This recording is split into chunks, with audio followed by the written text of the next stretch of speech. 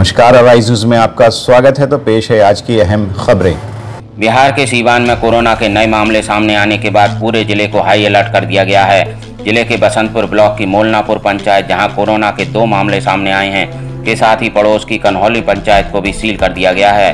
Police जहाँ मुस्तैदी के साथ लॉकडाउन का पालन करवा रही है तो वहीं लॉकडाउन का उल्लंघन करने वालों पर ड्रोन कैमरे से नज़र रखी जा रही है। देखिए एराइज न्यूज़ की ग्राउंड रिपोर्ट। सिवान ज़िले में कोरोना वायरस को लेकर के लोगों में दहशत का माहौल देखा जा रहा है। जहाँ तक खबरों की बात करें तो मीडिया के माध्यम से जो खबरें आ रही हैं, चिंता की लकीर लोगों के जहन पर साफ़ दिखाई दे रही है, माथे पर दिखाई दे रही है। जहाँ तक मोलनापुर पंचायत की बात है तो बताते चले कि इस पंचायत में एक के बाद एक दो ताज़ा मामला संक्रमण का सामने आया है, जिसको लेकर के जिला प्रशासन का नींद उड़ा हुआ है। राज्य सरकार सिवान ज़िले के ऊपर विशेष निगाह बनाई हुई है। पदाधिकारियों को दिशा निर्देशित किया जा रहा है कि किसी भी प्रकार का कोई चूक न हो कोई गलती नहीं हो नहीं तो आने वाले समय में बहुत बड़ी खमियाजा लोगों को भुगतना पड़ सकता है। आप बताएँ कि किस टोले में इस तरह का मामला सामने आया है? मोलनापुर पंचायत मोलनापुर गाँव जी। वार्ड छह नंबर है। वार्ड संख्या छह में संक्रमण का मामला सामने आया है। और यहाँ जो क्वारंटाइन सेंटर बनाया गया है अभी यहाँ जो मतलब स्थिति हम देख रहे हैं लोग काफ़ी मतलब दहशत में है। आ, क्या संदेश देना चाहेंगे लोगों को?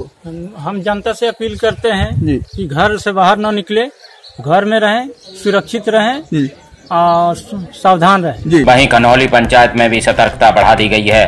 पंचायत की मुखिया रंजू कुमारी सिंह जहाँ लोगों से लॉकडाउन का पालन करने और घरों में रहने की अपील कर रही हैं साथ ही लोगों को लाउड स्पीकर के माध्यम से जागरूक किया जा रहा है। मैं ये संदेश देना चाहती हूँ कि लोगों को अपने आप को बचाना चाहिए स्वच्छ रखना चाहिए लोगों को भी इसके प्रति मतलब कि जागरूक करना चाहिए बताना चाहिए। हाथ अपना निरंतर धोते रहिए। सोशल डिस्टेंसिंग का पालन सोशल डिस्टेंसिंग का पालन कीजिए।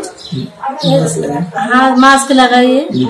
और कम से कम बाहर निकलने की कोशिश कीजिए। और जितना हो सके आप बहुत इमरजेंसी में बाहर निकलिए। कन्हौली पंचायत के मुखिया प्रतिनिधि संजीव कुमार सिंह के मुताबिक उन्होंने पंचायत में राशन सब्ज़ी दवाओं और दूसरे सामानों की ऑनलाइन डिलीवरी की सुविधा शुरू करवाई है।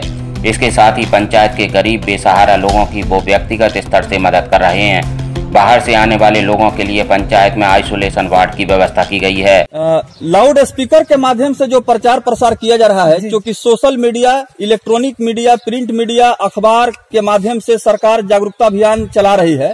पंचायत के आप जन प्रतिनिधि सहयोगी हैं तो आपने लाउड स्पीकर का सहारा आपने लिया है। किन किन क्षेत्रों में भ्रमण हो रहा है? हरिजामा मुड़वा समर्द कन्हौली उसरी और कन्हौली मोड़ पे विशेष रूप से। जी।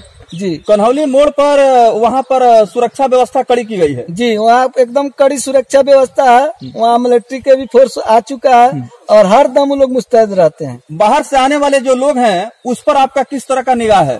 बाहर से जो लोग भी आएँगे हमारे नंबर पर फ़ोन कर देंगे उसके बाद हम उनको कोऑर्डिनेट सेंटर में भेजेंगे जहाँ वो लोग रहेंगे। उधर ज़िले में कोरोना के नए मामले सामने आने के बाद लोगों में घबराहट है लेकिन जानकारों का कहना है कि ये समय घबराने का नहीं बल्कि धैर्य रखने का है। सवाल इस बात का है कि कोरोना से कैसे बचा जाए। तमाम रिसर्चों में ये बात सामने आई है कि सोशल डिस्टेंसिंग और लॉकडाउन का पालन करके ही कोरोना वायरस से बचा जा सकता है। इसलिए घर पर रहिए सुरक्षित रहिए। एराई न्यूज़ के लिए महराज अहमद की रिपोर्ट।